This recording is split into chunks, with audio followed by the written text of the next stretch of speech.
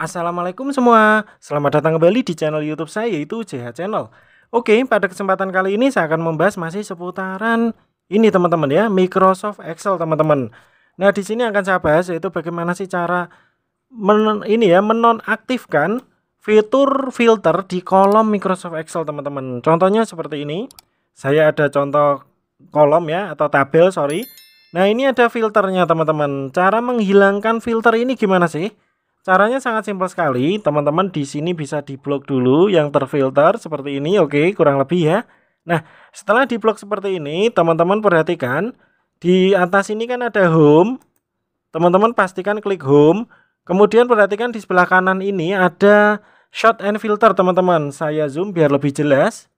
Nah, ini ya, shot and filter. Oke, teman-teman klik saja. Kemudian nanti kan muncul seperti ini, teman-teman.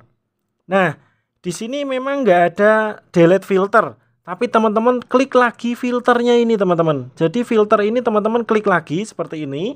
Oke. Nah, setelah filternya diklik, nanti akan hilang filternya teman-teman ya. Oke, mungkin sekian dulu trik dari saya bagaimana cara menghapus uh, filter di kolom Excel. Terima kasih. Wassalamualaikum warahmatullahi wabarakatuh.